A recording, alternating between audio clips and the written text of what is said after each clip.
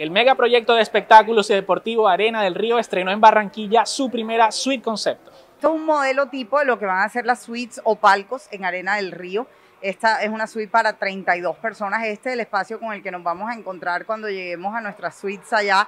Eh, y ven, vamos a ver, lo que podemos observar aquí es cómo se va a ver desde cada una de las suites eh, de la arena la experiencia en Arena del Río.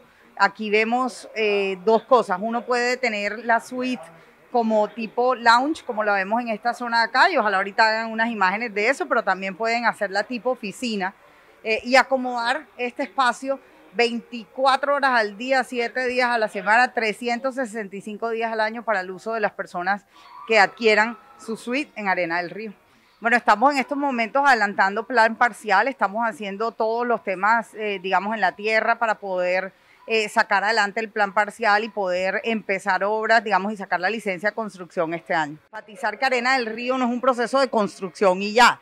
Si no, yo no estaría trabajando acá. Eso no es solamente ladrillos. Aquí vamos a trabajar en crear un ecosistema musical alrededor de Barranquilla. Entonces estamos trabajando mirando a ver cuál va a ser el impacto de traer Arena del Río para el tema de turismo, cuál es la dimensión de números de habitaciones hoteleras, de aerolíneas que necesitamos.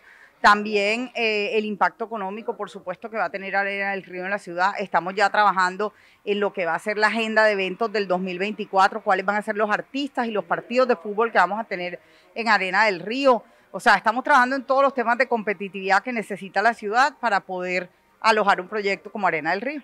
Edgar Rentería para nosotros es una persona muy importante porque ha sido, es uno de los socios del proyecto y ha sido líder promotor de que esta arena se haga aquí en la ciudad de Barranquilla.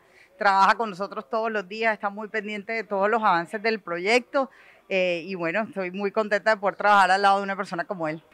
Sí, mi visión es brindarle esto a Barranquilla, para todo Colombia, para todo el mundo, yo creo que va a ser.